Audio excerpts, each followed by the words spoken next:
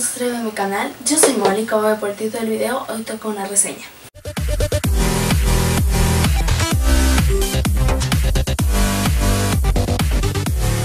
Si el plano se ve medio raro es que hoy yo como de la cámara y no lo hizo mi hermano, entonces Hoy haré una reseña de mi saga preferida. Y como ven, ya añadí más cosas al sillón para que de verdad sea un sillón literario. Tengo otro libro, Adobe, este cartel de Hogwarts, el libro y una muñeca de Katniss Everdeen.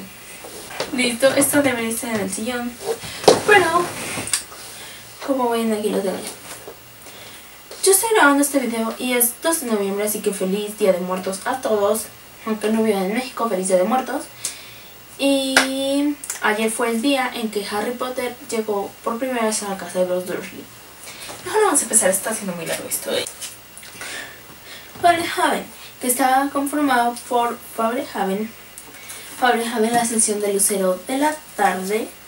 Como les digo, es de la noche, pero no sé por qué decidieron cambiar el título. Fablehaven, la plaga de las sombras. Fablehaven, los secretos de la reserva de los dragones. Y la llave de la prisión de... ¡Ay, mi amor! La llave de la prisión de los demonios. Este es el libro que me faltaba y por eso no hacía la reseña. Se cayó. Fablehaven es escrita por el autor Brandon Moore, que es de aquí. Y pues narra la historia sobre dos hermanos, Kendra y Seth. Kendra me parece tiene 13 y Seth 11. Eso es lo que me acuerdo.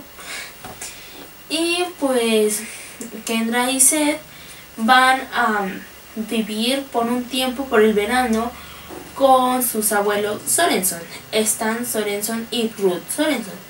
Por alguna razón no ven su abuela, o su abuela no está porque está cuidando a alguien más. Y pues, si, si ya le están lavando la ropa de verdad, creo que no me aman en esta casa. Están lavando la ropa. ¡Ah! Así que lo siento por el ruido, pero es que si no se van a quedar sin vida esta semana.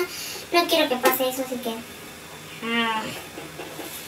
Ellos no quieren para nada estar ahí porque su abuelo no les permite ni los videojuegos, ni el celular, ni nada por el estilo. Su abuelo es algo malhumorado y es algo así como... Mm, se podría decir que cuando lo leí, yo pensaba eso que era de Gravity Falls. Por ejemplo, Kendra y Seth se podría clasificar como de Primavera. Y el abuelo Sorenson, como está. Y pues sí, su abuelo no quiere saber nada de ellos. De hecho, no quería que fueran. ¿Qué? Arruinando Arruinando videos de 2000. ¿Sí No, la gente de YouTube. Se ve muy diferente a como yo lo tenía. No. En su cuarto tiene muchos juegos y cosas para divertirse, ya que no hay televisión ni nada eléctrico. Dame.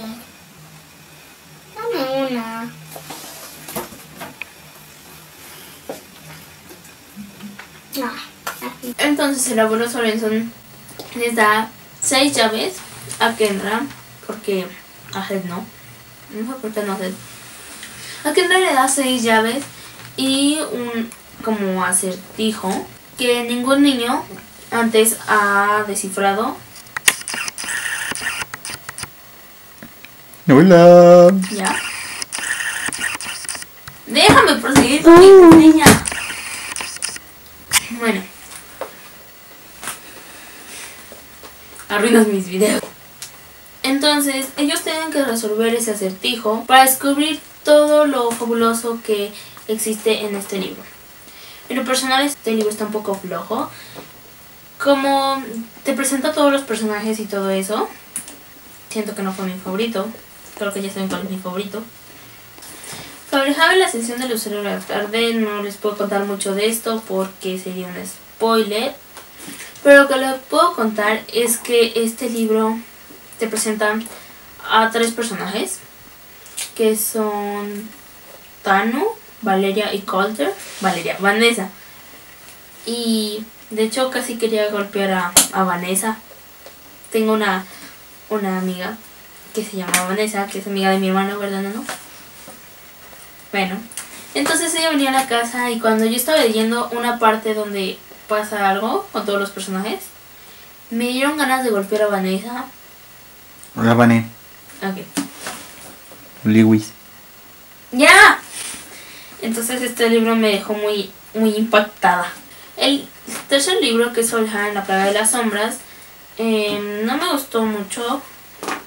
Sí da mucha acción y es muy padre, pero no sé. No me gustó mucho. Mucho, mucho, mucho. El cuarto libro, mi libro favorito de todo el mundo, que es Solja, Los secretos de la reserva de los dragones. Que, porque es mi libro favorito? Porque, porque Gavin. Yo puse a leer a un compañero este libro, Sebas. Hola, Sebas. De hecho, este libro, con este libro lloré al final y, y fui a, a suicidarme al cuarto de mi hermano. Porque, de hecho, desde el segundo libro te están poniendo algo y al final del libro te lo cambian todo.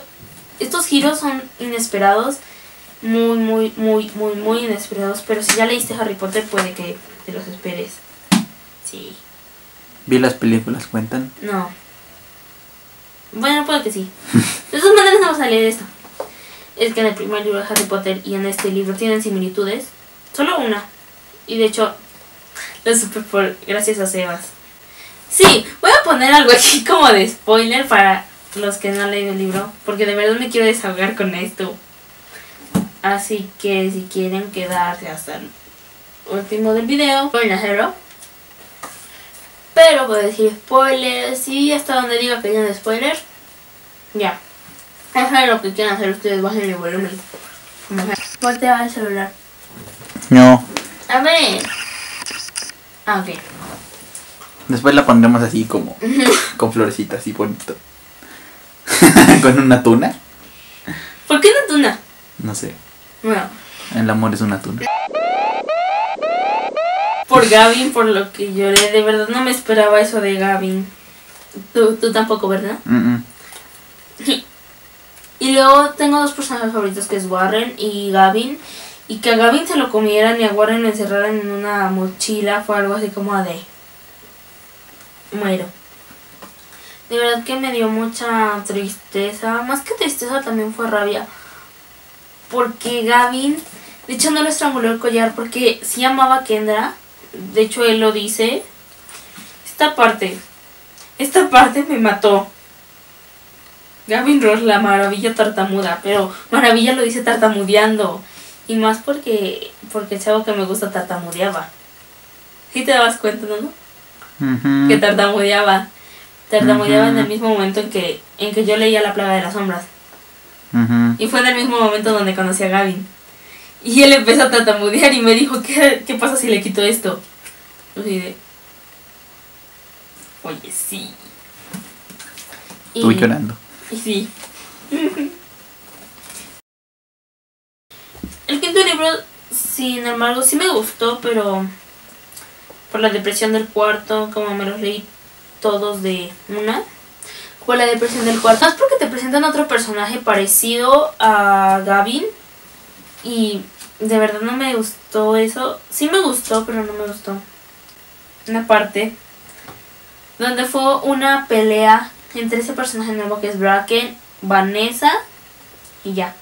Pero fue una confesión de Vanessa que me quedé como de... Entonces esta fue la reseña de Fablehaven. Y de verdad quiero que mucha gente los lea porque no es nada conocido esta serie, o bueno, no en México, no sé si en otros países. Yo la conozco. Quiero que muchas personas lean porque de verdad, aunque sea un poco infantil, una persona de 17 años los puede leer sin problemas. Y Sí saben leer, ¿no? Sí,